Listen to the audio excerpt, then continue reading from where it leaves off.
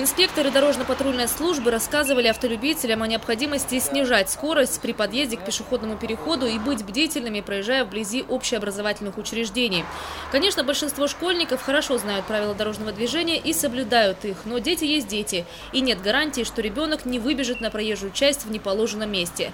Сотрудники ДПС напоминают, что родителям стоит пообщаться со своими детьми на тему дорожной безопасности, рассказать, что игры на проезжей части или вблизи ее недопустимы, и что дорогу дорогу нужно переходить внимательно и только по пешеходному переходу. Можно даже составить с ребенком схему пути, по которому он будет идти к школе и заранее оговорить проблемные вопросы.